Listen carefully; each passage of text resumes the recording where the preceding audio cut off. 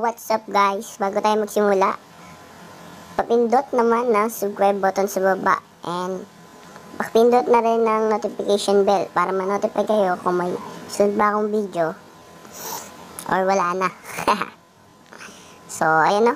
Tuturo ko sa inyo kung paano i-hide ang subscribers. So, ganito lamang kasimple yun guys. So, internet. Punta lamang kayo sa Create Creator Studio. Pindutin nyo lamang yan at makikita nyo ang channel. So, ibababa nyo lang yan para makita nyo yung advanced setting. Ito. So, pagkapindot nyo yan, pupunta kayo sa baba. Hanapin nyo ang subscriber counts. So, ito.